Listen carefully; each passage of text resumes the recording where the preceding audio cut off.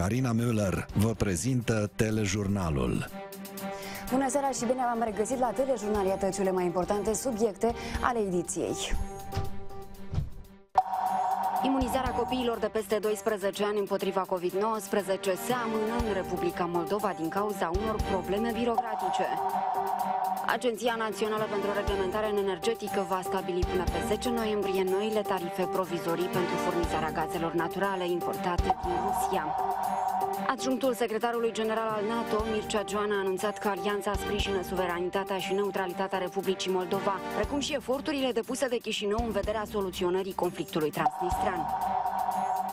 Agenția Națională pentru Reglementare în Energetică va stabili până pe 10 noiembrie noile tarife provizorii pentru furnizarea gazelor naturale importate din Rusia. Potrivit unei decizii luate de Comisia pentru Situații Excepționale, noile tarife vor fi aplicate din 1 noiembrie.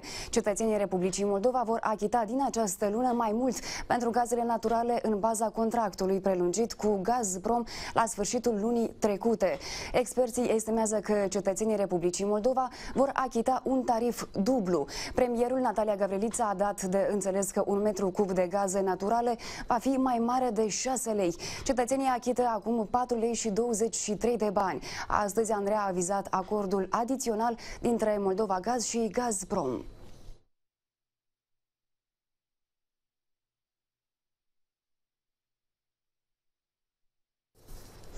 Deși a fost anunțată ca o prioritate, imunizarea copiilor de peste 12 ani împotriva COVID-19 nu a început în Republica Moldova. Cei de la centrele de vaccinare spun că părinții își aduc copiii, doar că sistemul de înregistrare este deocamdată nefuncțional. Reprezentanții Ministerului Sănătății ne-au spus că sunt pe ultima sută de metri în elaborarea unei decizii care va permite oficial demararea procesului. Coordonatorul Centrului Municipal de Vaccinare din Chișinău recunoaște că părinții și copiii lor vin de pomană la vaccinare. În această săptămână am avut, am avut vreo câțiva copii, deci părinții i-au adus uh, să se vaccineze, absolut și ei, dorea, ei doreau. Deci vizual aveau 14 ani, 13 de erau destul de maturi corporal. Deci și n-am putut să înregistrăm în sistem, fiindcă sistemul încă nu este randomizat la uh, vârsta necesară de la 12 ani. Săptămâna trecută, Ninel Revenco, coordonatorul campaniei de vaccinare în Republica Moldova, anunța că la începutul acestei săptămâni ar trebui să înceapă imunizarea cu doza booster pentru medici, dar și vaccinarea copiilor de peste 12 ani. Una s-a spus, alta s-a făcut. Avem un deplin consens pentru acest capitol. Știu că Comitetul Național de Imunizare a remis Ministerului Sănătății recomandarea pe aceste două subiecte pentru considerare vedem că, mm, cel puțin la această etapă, nu s-a luat act și uh, lucrurile sunt tergiversate. Uh, avem foarte multe cereri de la părinți care își doresc să-și vaccineze copiii. Avem foarte multe solicitări de la cadrele medicale, în primul rând, care s-au imunizat în prima etapă. Vaccinarea copiilor sub 18 ani sau a tinerilor sub 18 ani Uh, revaccinarea cu doza 3 implică o pregătire logistică uh, bine definită. Înseamnă că trebuie să avem rezerve suficiente de vaccin Pfizer. Nu este tergiversat, deci acum la moment Ministerul Sănătății lucrează la elaborare circulare prin care se va descrie procedura concretă prin care părintele va solicita uh, vaccinarea copilului său de la 12 ani, va semna o cerere în această privință și un acord informat, după care se va administra vaccinul și vor fi uh, desemnate acele puncte de vaccinare în care se va putea administra uh, vaccinul. La sfârșitul lunii octombrie, Agenția Medicamentului și Dispozitivelor Medicale a permis vaccinarea copiilor de la 12 ani cu serul produs de Pfizer-BioNTech. Părinții se pot adresa la orice centru de vaccinare unde vor semna un acord și apoi pot să-și imunizeze copilul. În România, copiii de peste 12 ani au început să fie imunizați împotriva COVID-19 din luna iunie. Mai mulți deputați și angajați ai Parlamentului de la Chișinău nu sunt vaccinați anticovid-19. Președintele legislativului Igor Grosu spune că în forul legiuitor va fi creat un punct de vaccinare, astfel încât să fie facilitat procesul de imunizare. Decizia a fost luată deoarece dintre cei 358 de angajați ai Parlamentului, 86 nu sunt vaccinați.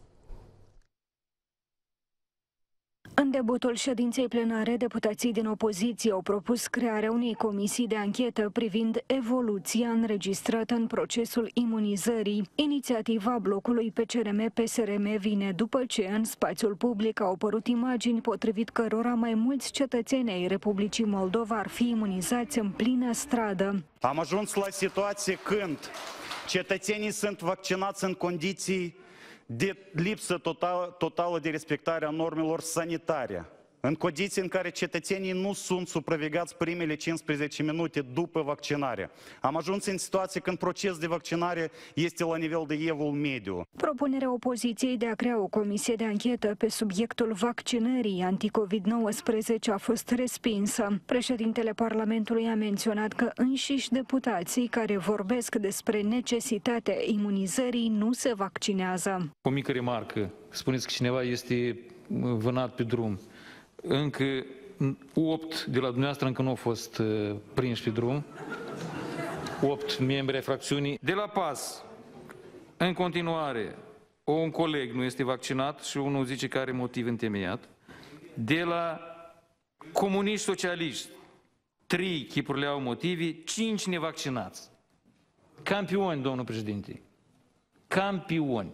Și de la fracțiunea Șor, doi nevaccinați. Îi trist că deputații din Parlament nu se vaccinează. Luați-vă vaccinați și după aia ridicați drapelul pro-vaccinării. De asemenea, pentru a impulsiona procesul imunizării în Parlament, urmează a fi deschis un punct de vaccinare. Vom aduce vaccin de care este disponibil și vom crea condiții pentru a se vaccina. Din păcate, noi în Parlament, din 358, încă avem 86 de colegi nevaccinați. Potrivit datelor oficiale prezentate de Ministerul Sănătății, cea mai înaltă rată de vaccinare cu schema completă se înregistrează în municipiul Chișinău, 38%.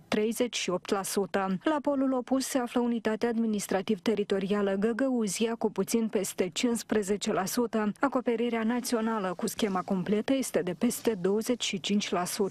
Dar totuși o să vă Dependența de jocurile de noroc e considerată o boală de către psihologi și ia amploare inclusiv în Republica Moldova. Cum încearcă autoritățile să tempereze această pasiune în rândul basarabenilor aflați imediat în telejurnal? Președintele Maia Sandu cere inițierea procedurii de evaluare a performanțelor procurorului general suspendat Alexandru Stoianoglu. O sesizare a și fost transmisă Consiliului Superior al Procurorilor. Potrivit șefului statului, evaluarea activității lui Alexandru Stoianoglu este necesară pentru a restabili încrederea societății în instituția procuraturii. Încredere care, potrivit președintelui Maia Sandu, ar fi compromisă de lipsa rezultatelor în combaterea criminalității și corupției în special în dosarele de rezonanță. Potrivit modificărilor operate la legea cu privire la procuratură, procurorul general poate fi demis de către președintele Republicii Moldova la propunerea CSP, dacă rezultatul evaluării activității acestuia este unul nesatisfăcător.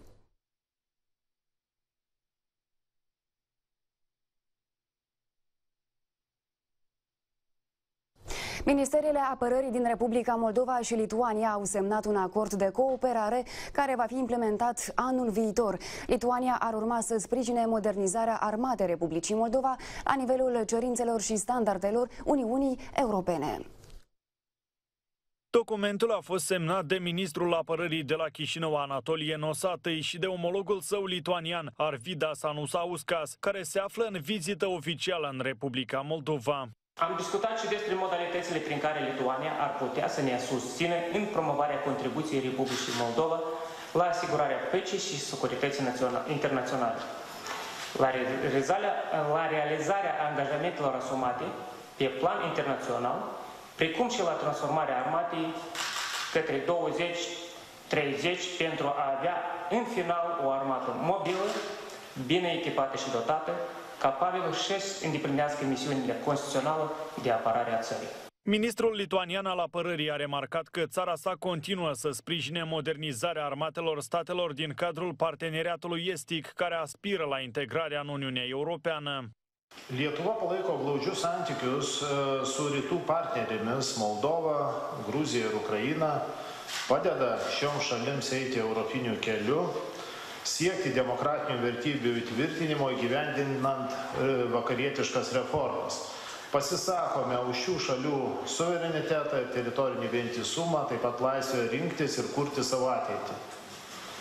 Republica Moldova și Lituania cooperează în domeniul apărării de două decenii. Ieri, cabinetul de ministri de la Chișinău a aprobat proiectul hotărârii Parlamentului cu privire la participarea contingentului Armatei Naționale în cadrul Forței Interimare a Națiunilor Unite în Liban. Aceasta este prima operațiune ONU la care vor participa și militari din Republica Moldova. Începând cu luna august a anului viitor, Armata Republicii Moldova va trimite în Liban 20 de militari în misiuni de securitate și paza obiectivă obiectivelor militare, inclusiv de patrulare.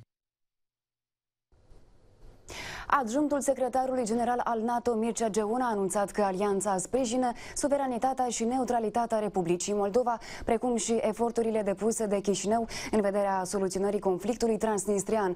În cadrul unui eveniment organizat la Chișinău, el a reiterat că NATO insistă pentru ca Federația Rusă să-și retragă trupele militare din Republica Moldova ca și în Ucraina sau Georgia.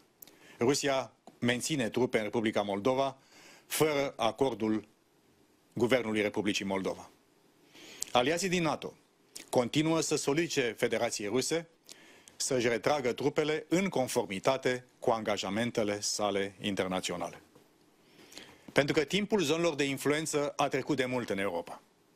Susținem cu tărie dreptul tuturor țărilor, inclusiv al Republicii Moldova, de a face alegeri independente privind politica externă și de securitate, libere de presiuni sau constrângere externe. La evenimentul dedicat zilelor NATO în Republica Moldova a fost prezent și ambasadorul României. Daniel Ionița a subliniat că România, în calitate de stat membru al NATO, va continua să sprijine guvernul de la Chișinău în implementarea reformelor stabilite în domeniul apărării.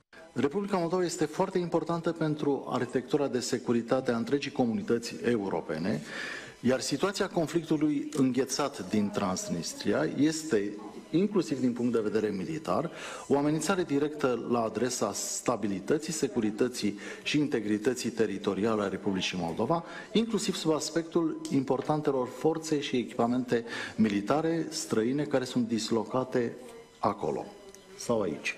La rândul său, ministrul apărării a mulțumit reprezentanților NATO pentru sprijinul acordat Republicii Moldova.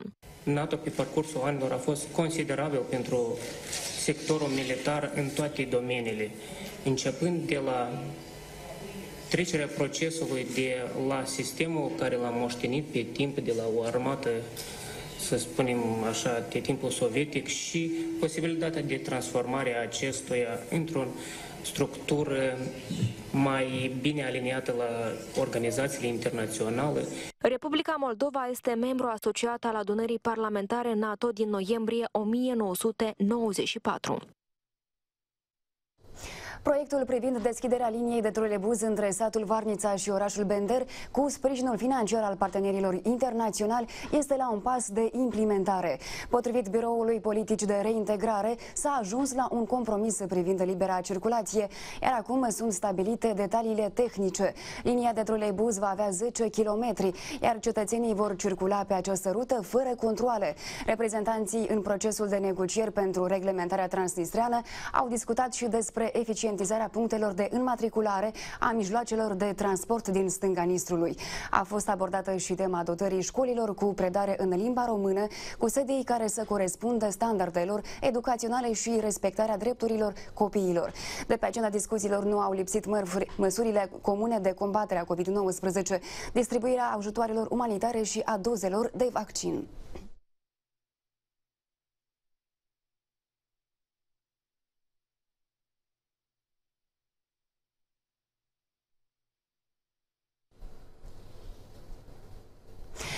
Dependența de jocurile de noroc este considerată o boală de către psihologi și ia amploare în toată lumea. Excepție nu fac nici basarabenii. Mulți dintre ei trăiesc cu iluzia că te poți îmbogăți peste noapte.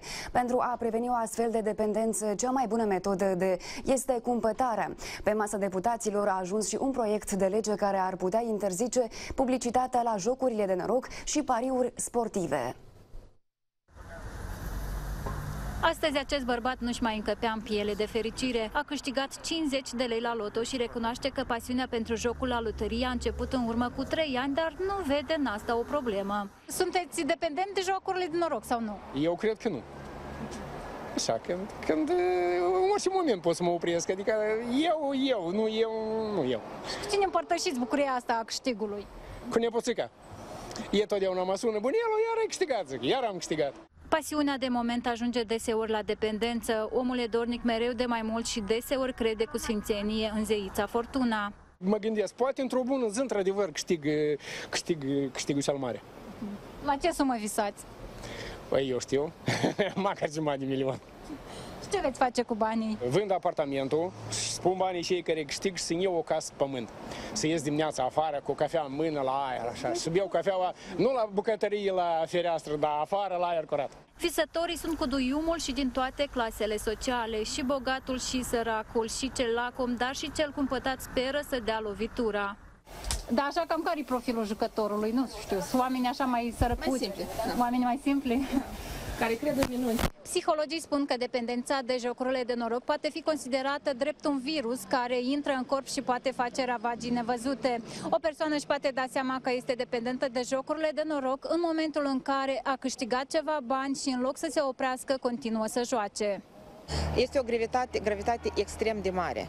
Deci omul simte uh, plăcere de la ceea ce face și în absența acestei plăceri, el cere, incontrolabil, involuntar. El are nevoie de această senzație. De cumpărarea acelui bilet care vă rezolvă poate careva situație materială, să știți că deja este dependență. Prevenirea, cum se face?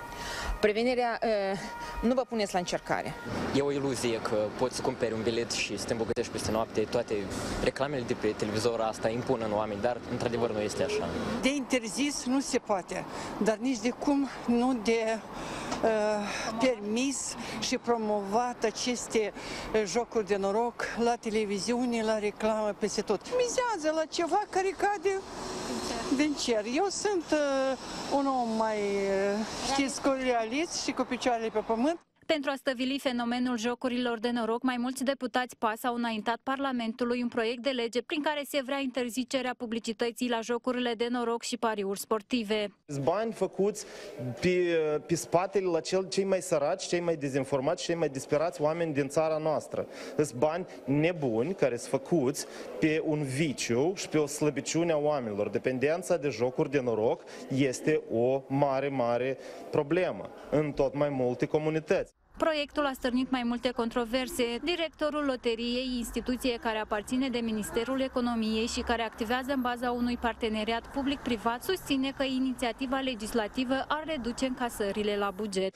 Loteria Moldovei manipulează și dezinformează și din aceste bugete grase pe care le canalizează în publicitate. Eu am așa o impresie că ele se folosesc inclusiv la dezinformarea populației.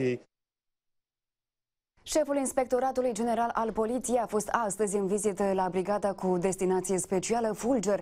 El a vrut să afle nemulțumirile angajaților după ce în spațiul public a fost publicată o scrisoare în care polițiștii acuză presiuni și tentative de preluare a conducerii instituției. Ofițerii de la Fulger au negat că ar fi semnat o astfel de scrisoare. Ei s-au arătat îngrijorați de, apari de apariție în spațiul mediatic a informațiilor anime, anonime privind activitatea internă a entității și au comunicat că aceste informații făcute publice nu reprezintă nici părerea lor personală în calitate de conducători și nici a subalternilor. Brigada Fulger nu este totuși lipsită de probleme. Comisarul șef al brigăzii, Kazimir Trocin, este anchetat. Dumnealui, deja de o lună este supus unei anchete interne, este suspendat din funcție, Uh, și în legătură, anume în legătură cu încălcarea unor atribuții de serviciu, mai exact pentru încălcarea procedurilor de organizare a activității interne, Candidatura fostului ministru al justiției Fadei Nagacevski la funcția de viceprimar a fost respinsă din nou în Consiliul Municipal Chișinău. El va deveni oricum viceprimar. De ce vă spunem peste câteva momente în telejurnal. În România, numărul cazurilor noi de COVID-19 a scăzut sub 9.000 în ultimele 24 de ore. Însă, în spitale sunt internați mulți pacienți în stare gravă. 1.900 de oameni sunt la terapie intensivă, iar bolnavii în stare gravă care nu au loc în secții sunt îngrijiți de medici în condiții extreme. La Buzău, mulți bolnavi primesc oxigen direct în mașinile personale parcate în curtea spitalului de urgență. Atenție, urmează detalii cu puternic impact emoțional.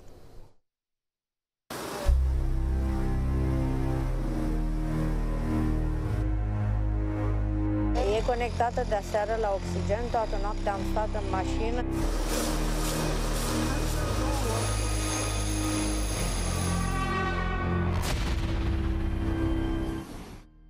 Acestea sunt imaginile disperării surprinse în curtea Spitalului Județean din Buzău. Pentru că în secții nu mai sunt locuri, pacienții primesc oxigen chiar în parcarea unității medicale, prin tuburi conectate la propriile mașini. Sunt nevaccinați și au ajuns la spital în stare gravă, după ce boala i-a chinuit zile în șir acasă, iar acum așteaptă rezultatele testelor COVID. Sunt persoane nevaccinate care au ales să meargă la spital doar în momentul în care au simțit că nu mai pot respira.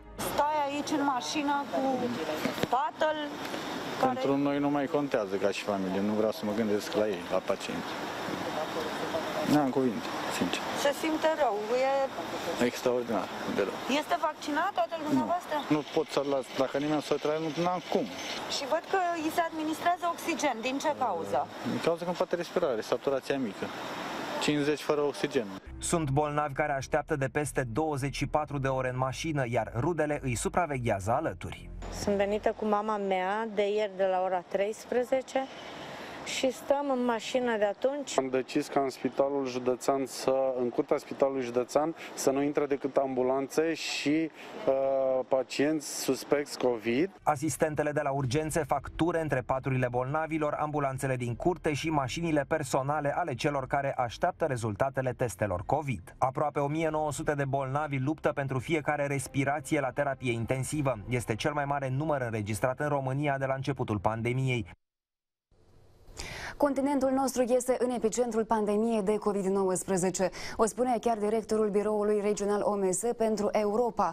Potrivit acestuia, doar săptămâna trecută au fost înregistrate aproape 2 milioane de cazuri noi în Europa și Asia Centrală. A crescut cu 12% și numărul morților și a ajuns la 24.000 într-o săptămână. Oficialul OMS a cerut autorităților să reexamineze cu atenție relaxarea sau ridicarea restricțiilor. Over the past two weeks, 23 countries responsibly strengthened social measures. But I'm also concerned that seven have eased up. Preventive measures, when applied correctly and consistently, allow us to go on with our lives, not the opposite. Preventive measures do not deprive people of their freedom. They ensure it. Directorul OMS pentru Europa și Asia Centrală susține că măsurile de prevenire sunt cele mai bune pentru evitarea unui lockdown. El precizează că din numărul total de îmbolnăviri la nivel global, 59% au fost raportate în regiune. Europa și Asia Centrală au și 48% dintre decese. Motivele ar fi două, rata scăzută a vaccinării și relaxarea restricțiilor. 1 billion doses have now been administered in Europe and Central Asia. Countries of Europe and Central Asia are, however, at various stages of vaccination rollout. On average, only 47% of people have completed a full vaccination series. While eight countries have now exceeded 70% coverage, in two the rate remains below 10%.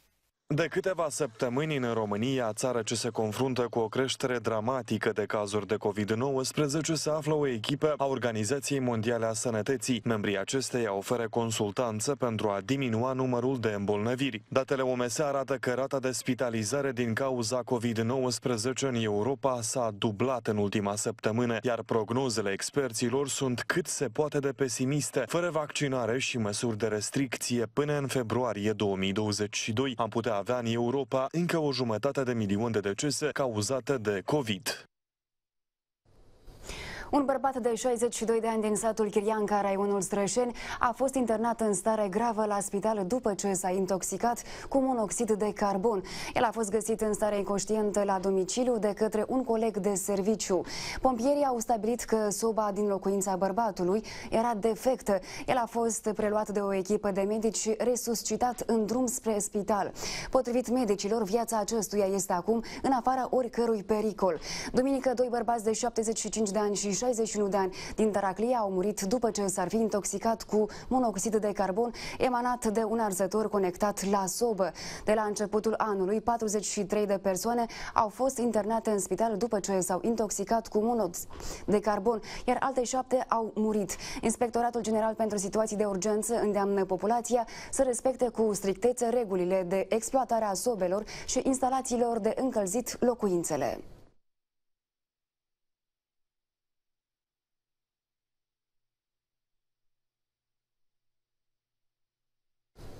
Autoritățile municipiului Chișinău vor aloca 4 milioane și jumătate de lei pentru cele 20 de familii care au rămas fără apartamente după incendiul produs recent la mansarda blocului de pe strada Ion Pelivan. Consiliul Municipal a decis astăzi să le ofere câte 9.000 de lei pentru fiecare metru pătrat al apartamentelor distruse. Pentru a beneficia de acest ajutor financiar, sinistrații trebuie să-și dea acordul în scris. Însă unii dintre ei spun că autoritățile oferă prea puțini bani pentru a a-și cumpăra o locuință.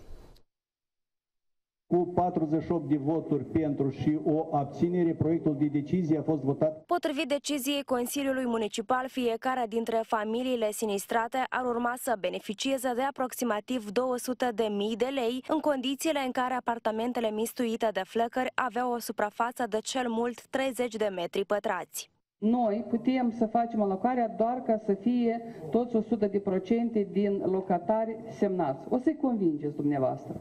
Cele 20 de familii care au rămas fără acoperiș deasupra capului în prag de iarnă sunt găzduite de rude sau în căminele oferite temporar de primărie. Deja de două săptămâni persoanele sinistrate așteaptă decizia autorităților măcar cât de cât.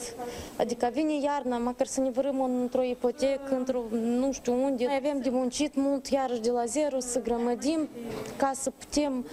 Poate da, este și ceva normal că n-ați procurăm acum deodată.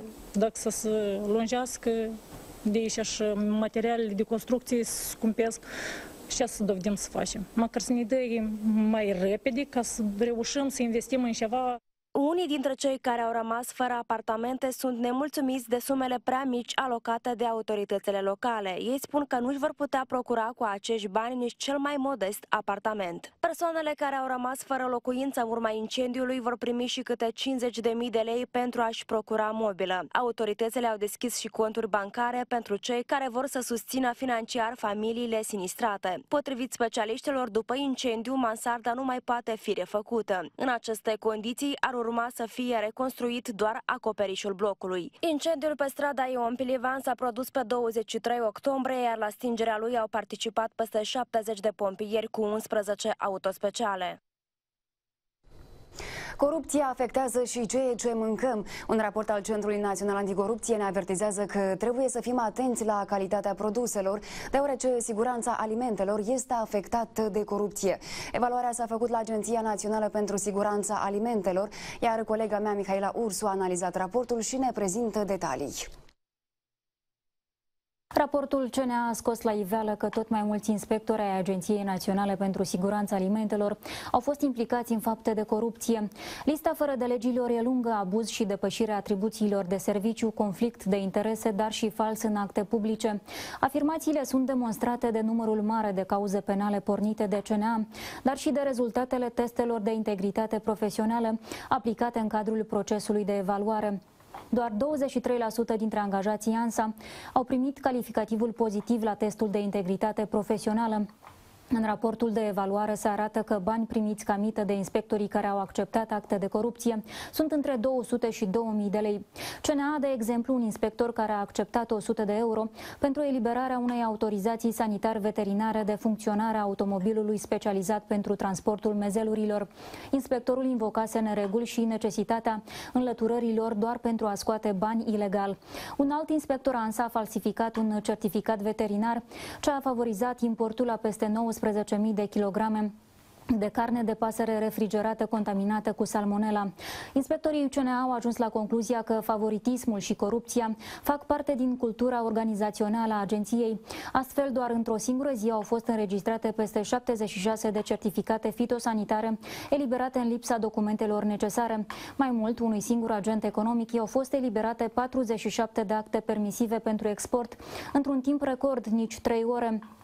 Așa se face că tone de produse alterate, periculoase pentru sănătatea și chiar viața oamenilor, sunt vândute cu acte aparent în regulă prin magazinele și piețele Republicii Moldova. Corupția este determinată de mai mulți factori, cadrul de reglementare ambigu, planificarea defectuoasă a controalelor, dar și lipsa controlului inopinat. CNA recomandă ca responsabilii de la ANSA să adopte un plan de integritate ce va fi monitorizat de inspectorii anticorupție. Compania Teleradio Moldova a fost trecută astăzi din subordinea Consiliului Audiovizualului în cea a Parlamentului. Proiectul de modificare a codului serviciilor media a fost aprobat cu votul majorității deputaților PAS. Ei au declarat că schimbarea legii va permite monitorizarea corectă a activității radiodifuzorului public. Deputații din opoziție au criticat însă decizia care, în opinia lor, ar permite forțelor de la guvernare să influențeze politica editorială a posturilor publice de radio radio și televiziune.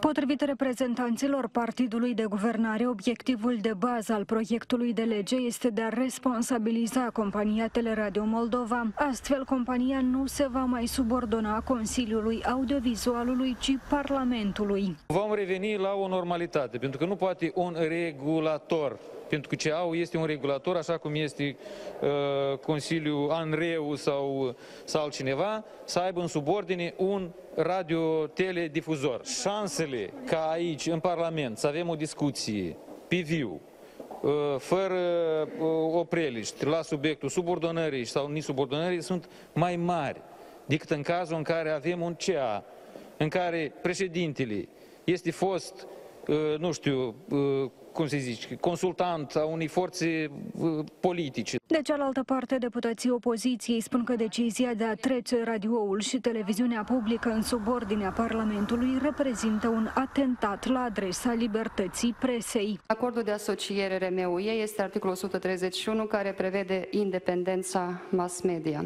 Vă asigur că noțiunea de independență din acest articol nu este sinonimă cu noțiunea de control parlamentar. E o încercare de a proteja un canal public care la moment este în slujba politicului, este în slujba Partidului Socialist și comunist. E ca să spunem așa cum este, este parte a holdingului lui Dodon. Proiectul privind modificarea codului serviciilor media audiovizuale a fost aprobat în lectură finală cu votul a 56 de deputați PAS. Candidatura lui Fadei Gacevski la funcția de viceprimar a fost respinsă din nou în Consiliul Municipal Chișinău. Fostul ministru al Justiției mai avea nevoie de două voturi pentru a primi funcția. Unii consiliere s-au amuzat pe seama lui Nagacevski pentru că nu știau de ce anume se va ocupa la primărie. După două refuzuri consecutive, primarul general îl poate numi viceprimar printr-o simplă dispoziție. Cei mai mulți dintre consilieri l-au avertizat pe Fadei Nagacevski că nu doresc să lucreze cu el și nu-l vor susține. Luat la întrebări, fostul ministru nu a oferit răspunsuri clare. Domnul Nagacevski, și domeniul să răspuns matale.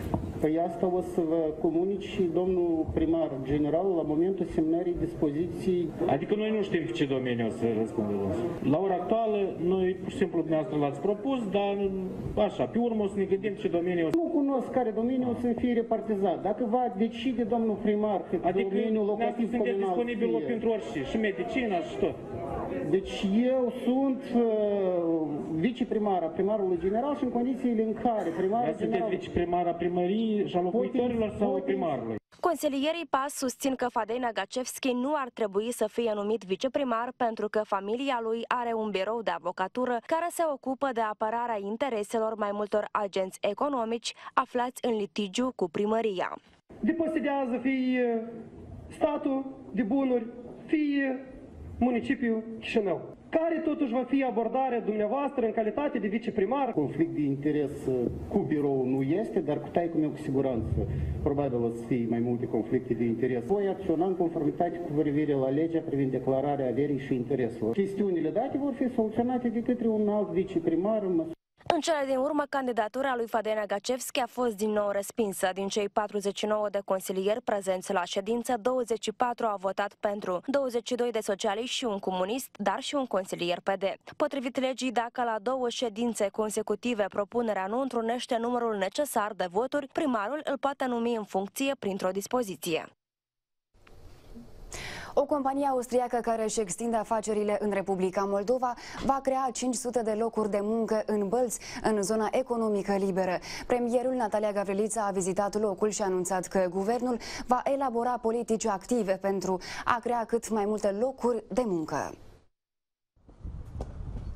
Conducerea companiei din Austria a anunțat că își va extinde producția pe teritoriul Republicii Moldova și va investi 12 milioane de euro care vor genera 500 de noi locuri de muncă. Acum în cele două fabrici ale grupului austriac își desfășoară activitatea peste 700 de angajați, iar investițiile sunt de circa 54 de milioane de dolari. Premierul Natalia Gavrilița a menționat că guvernul vrea să atragă noi investitori și să creeze locuri de muncă bine plătite. Vizita mea este concentrată pe acest aspect economic, pe planurile guvernului de a crea locuri de muncă prin uh, încurajarea dezvoltării întreprinderilor mici și mijlocii și încurajarea investitorilor. M-am bucurat să aflu despre uh, creșterea uh, investițiilor în companiile din zona economică liberă și uh, perspectivele de creare a 800 de locuri de muncă uh, noi în următorii trei ani. Uh, ne dorim un context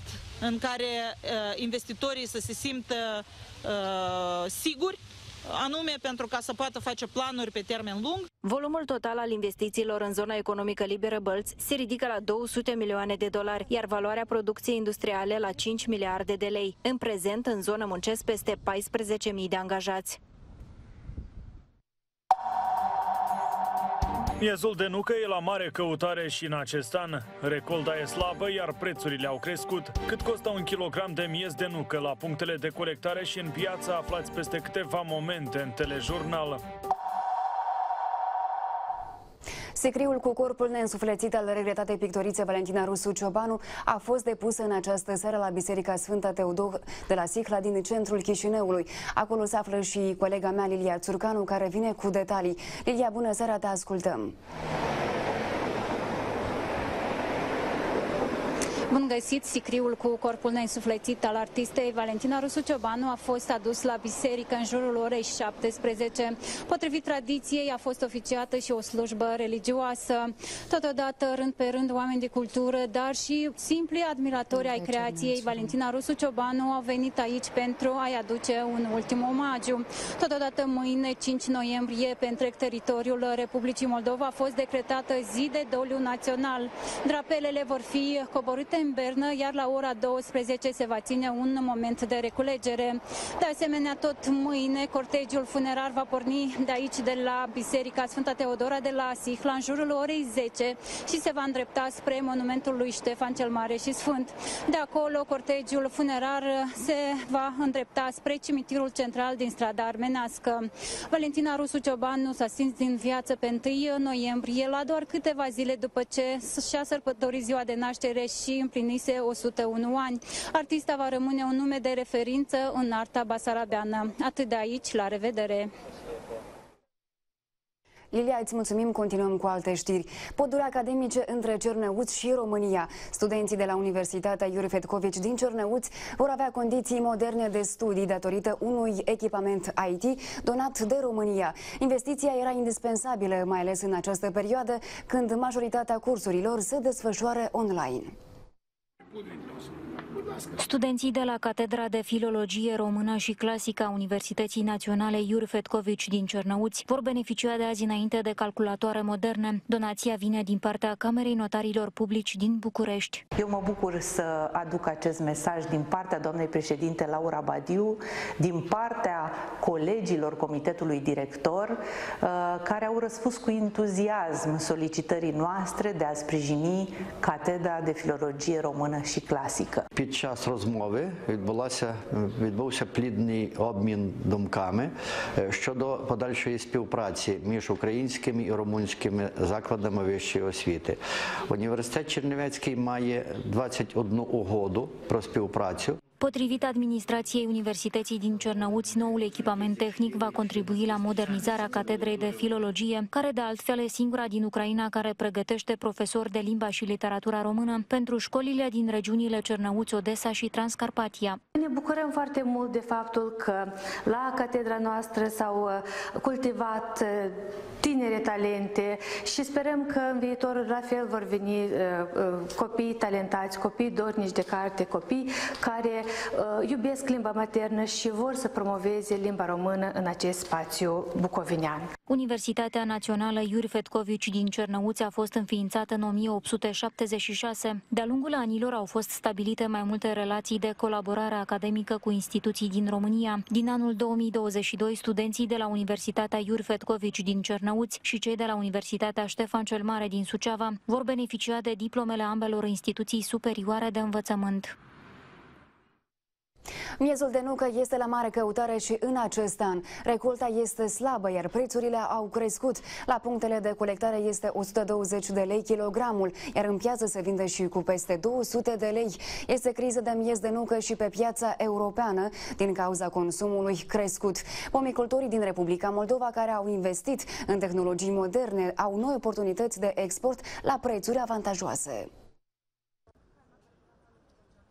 Nucele au fost deja culese, iar la Chișinău au apărut tot mai multe puncte de colectare a miezului. Unii au spații special amenajate, alții o fac în stradă, mașini parcate pe marginea drumului. Cei care adună câteva kilograme de miez de nucă primesc între 80 și 120 pentru un kilogram. Pe tarabele pieții centrale, miezul de nucă costă și 230 de lei. Sunt raioane care au înghețat tătănuca nu este. Și cumpără cineva, că vedem aici prețuri de la 100 până la 200. Aveți cumpărători? Cumpără numai care pleacă și hotare, dar aici au lumea n-are bani și nu cumpără nimeni. Că uitați dumneavoastră, se firma piața că e goală. Prețul miezului de nucă va continua să crească, iar cererea va fi tot mai mare în Uniunea Europeană. Statele Unite, unul dintre producătorii mondiali, înregistrează o recoltă mică din cauza condițiilor climaterice nefavorabile care au afectat cultura. Asta automat produce un, un mare șoc uh, în, în plan internațional. Asta înseamnă o creștere a prețurilor, pe care iată o vedem în acest moment. Afară de asta, un factor foarte important este creșterea consumului de nucă la nivel global. Anul trecut, Uniunea Europeană a rămas fără stoc de nucă, consumul a fost foarte, foarte bun și atunci am intrat în nou sezon cu un mare deficit. Așa se face că pentru Republica Moldova se deschid noi oportunități. Ele nu pot fi valorificate pe deplin din cauza recoltei slabe, dar și pentru că mulți agricultori continuă să se bazeze pe livezi tradiționale. Acolo unde nu s-au făcut tratamente din cauza precipitațiilor, o bună parte din uh, recoltă a fost afectată la etapa de imediat după floare. Criteriile de selectare a soiurilor de nuc la vremea respectivă nici de cum nu erau uh, randament foarte înalt, uh, competitivitate pe piața internațională. Agricultorii care au investit în nivezi superintensive și au început să cultive noi soiuri se pot bucura de succes. Lilian Florea are o livadă de peste 150 de hectare și reușește să cucerească nu doar consumatorii din Europa, ci și din Asia. Soi Chandler american, soiul francez Fernor și, și Lara. Și iată, anul acesta s-a demonstrat că soiurile acestea au fost uh, foarte productive. Avem și destule oferte în Uniunea Europeană, ca, ca Italia, ca Franța. În sistemul tradițional deja nu mai merită de investit, de a planta 10 pe 10 metri pomi cu producere terminală care să ai doar o tonă la hectar. 90% din recolta de nuci din Republica Moldova, adică peste 30.000 de tone, se exportă. Un sirian a descoperit o metodă inedită de a crea adevărate bijuterii tridimensionale din sâmburi de măsline. Cum reproduce cu ajutorul lor peisaje sau clădiri celebre, vedeți imediat în telejurnal. Turcia a reținut 17 oameni care au umilit un civil american din flota Statelor Unite. Aceștia i-au pus în cap forțat un fel de cagula, considerat gest jignitor. Turcii doreau să protesteze astfel față de politica Statelor Unite în Orientul Mijlociu. Manifestanții fac parte din Uniunea Tinerilor Turci. Navaios S. Mount Whitney a traversat Bosforul pentru a se alătura aliaților NATO în Marea Neagră. Președintele Vladimir Putin a protestat față de prezența vasului american și a ordonat flotei să facă exerciții care au inclus simularea distrugerii unor nave străine.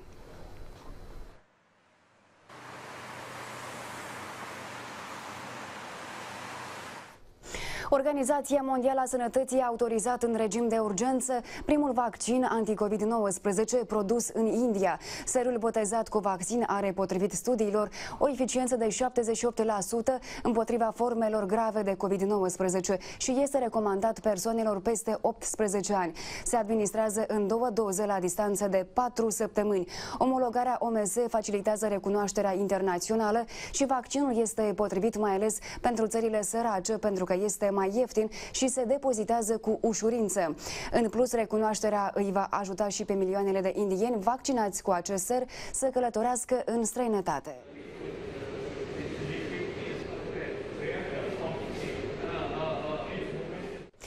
Arta are de multe ori forme nebănuite. Un sirian a descoperit o utilitate inedită de a folosi sâmburii de măsline. Îi folosește pentru a crea adevărate bijuterii tridimensionale care reproduc peisaje sau clădiri celebre.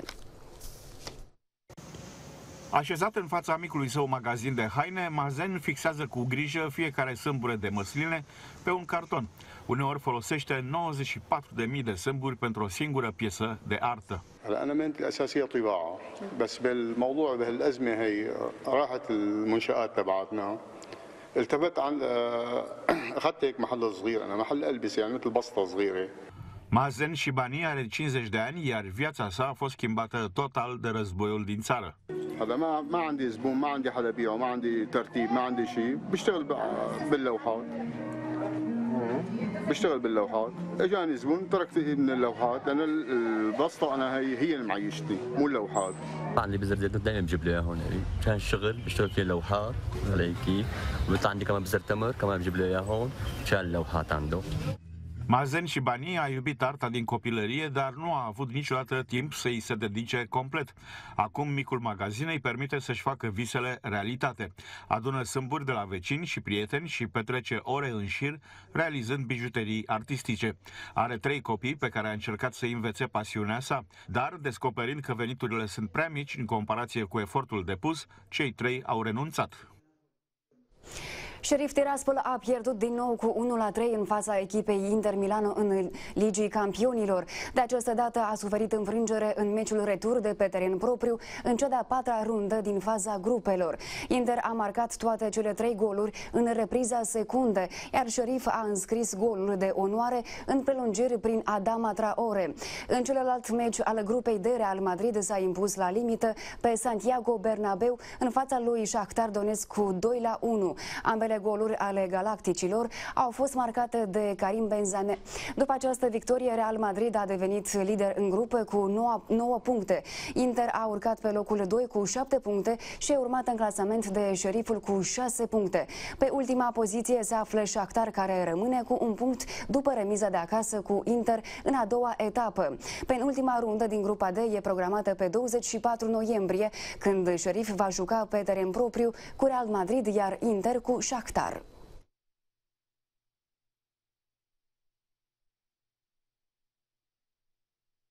Să vedem acum cotațiile valutare stabilite pentru mâine de Banca Națională a Moldovei. Dolarul american va costa 17 lei și 51 de bani, cu un ban mai puțin. Valoarea monedei europene scade cu 8 bani până la 20 de lei și 22 de bani. Leul românesc se va cota la 4 lei și 8 bani, cu 2 bani mai puțin. Hrivna ucraineană va costa 66 de bani și rubla rusească 24 de bani. Iar pe final să vedem datele meteo.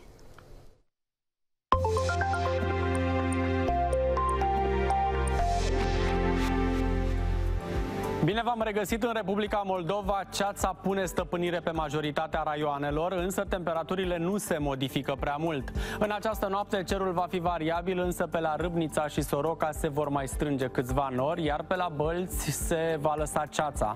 Minimele se vor încadra între 7 și 12 grade. Mâine soarele nu va fi vizibil peste tot, asta pentru că ceața se va așterne în mai multe regiuni. Temperaturile însă sunt plăcute de primăvară la Bălți se vor înregistra 19-20 de grade la orele amiezii. Ne întoarcem în capitală unde ne așteaptă o noapte cu ceață și doar 8 grade vor fi în centrul orașului. Mâine, chiar dacă rămâne ceața, mercurul din termometre urcă până la 21 de grade. România este împărțită în două, în timp ce locuitorii din regiunile estice pot scoate tricourile, în vest și nord-vest plouă, iar cantitățile de apă vor depăși 25-30 de litri pe metru pătrat. Atât despre vreme, eu sunt Ionus Gheorghe și vă mulțumesc pentru atenție. Să ne revedem cu bine. Pe curând!